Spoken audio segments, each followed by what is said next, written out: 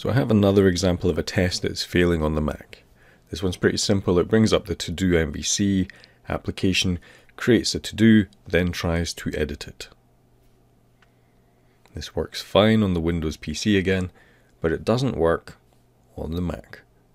So my initial assumption is this is probably going to be because of a non-specific locator again, because that's the lesson we learned last time we were looking at Mac differences. So if I jump through into the place in the abstraction where it happens, you can see that what we're doing in here, there's a whole bunch of abstraction layers, but essentially at some point we're trying to edit the item. So if I jump through into that, now what I'm finding interesting here, let me just make this a little bit more visible. What I find interesting here is that because of the use of the actions, I'm tempted to immediately blame actions for not working correctly. Right, that would if that would be my default for this because actions I tend not to dist I tend not to trust very much. I, I view it as making my tests uh, flaky. I don't really like using actions, but sometimes I have no choice, particularly with Ajax applications. I have no choice.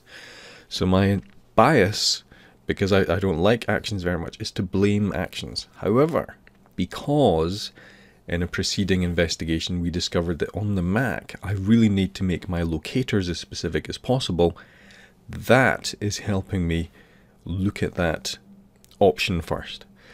So you can see here that what I'm doing is finding a bunch of things. I do that up here with the get to do items in a particular state. Find me a bunch of things in a particular state.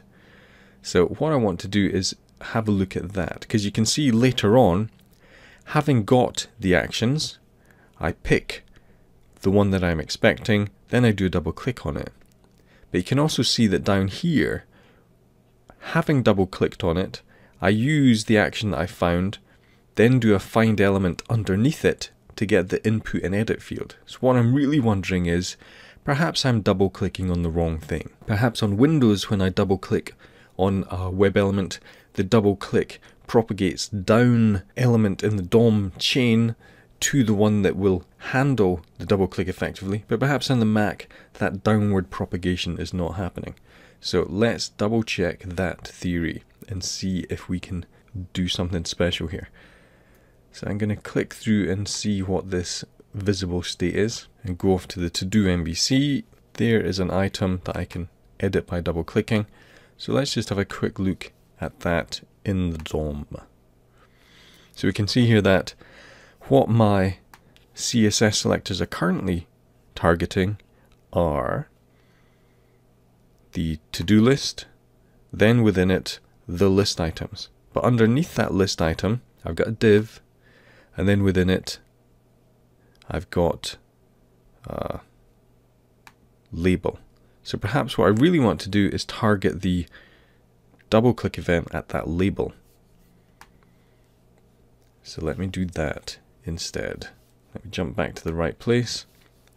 So I'm still going to find the uh, the list items because the rest of my code depend on the, the list items. But what I'm going to do here is on the double click, I'm just going to say for that list item, find an element underneath it using the CSS selector, but I want to find a div, which has as an immediate child a label. And let's click on that label. Let's use that functionality instead. And let's see if that makes a difference to my test. So I come in, I create a to-do item, and then it's edited and the window closed. So that was good. So again, what was happening on the Mac I need to be more specific in the elements that I'm finding. So I need to find the correct element that I want to send that event, that double click event to.